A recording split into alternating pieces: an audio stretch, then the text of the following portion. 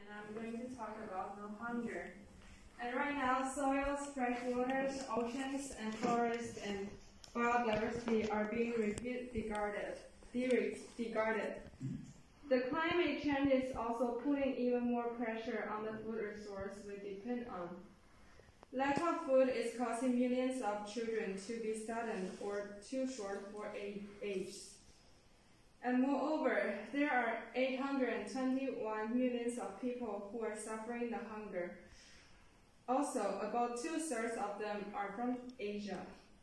So as a Asian, if I think if people even cannot get enough food, how can they have the strength to work and to be educated? And most important, importantly, they surely cannot be are not be able to help with country's development. And if country cannot develop, how can we chase and chase those Western countries? And also the unemployment rate would be high.